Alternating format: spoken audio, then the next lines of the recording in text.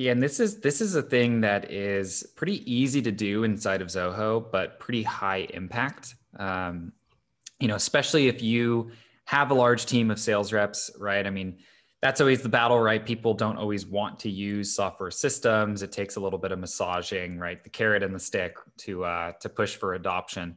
But one of the biggest things that we see that again is very easy to do that helps with that process is just making sure the data is organized on the page uh, in, in a nice way. So if we see, you know, when you first are going to spin up your CRM, right, we're looking at a contact here. Pretty much every field is just dropped into one big section called contact information, right? So this contains everything from their lead source to their email, um, you know, to a vendor that they might work for, you know, all this different info, you know, some system data like created by and modified by that really just doesn't need to be top of line.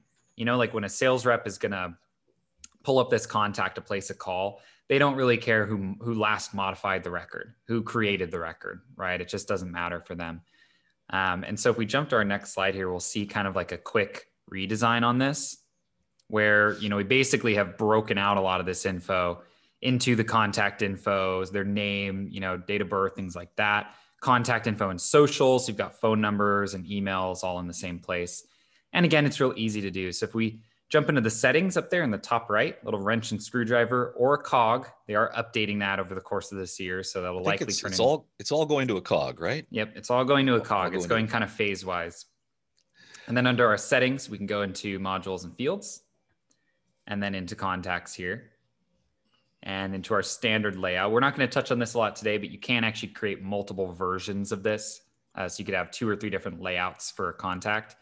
And we'll see on this page, you know, this is basically the, the behind the scenes editor where all of these fields are, you know, bulked up into one big section.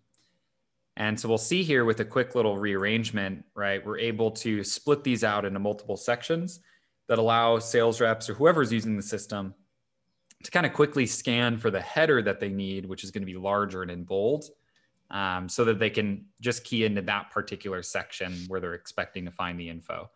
Another thing that we won't show here because it's always going to be specific to your business, but a lot of these fields you may end up removing, right? Something like Skype ID, you know, that one might have been put in place maybe in the early 2010s when Skype was a bigger thing. That'd probably be a Zoom ID nowadays. Um, you know, things like their assistant and assistant phone, you know, you might just not be working with that type of uh, person or business. So you can, of course, remove these fields as well, but for now, we'll go ahead and leave them in.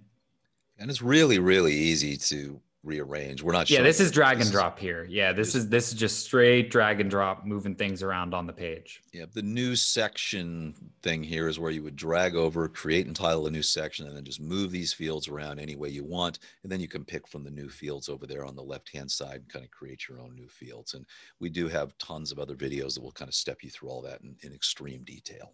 Yep. And then again, kind of looking at a quick before and after of the page, you know, before again, everything is kind of just jumbled up into one big section under contact information, but with a little bit of, um, you know, massaging, we're able to break that out into some more delineated sections so that you're not kind of seeing everything in one big bulk. Again, you know, it's not like a life or death update to make to your CRM, but it's just going to help people find what they need to find and not feel like they're battling the screen, right? To kind of get the info they need and do their job right? We want to just create the least amount of barriers that are going to frustrate anyone who has to touch a system like this.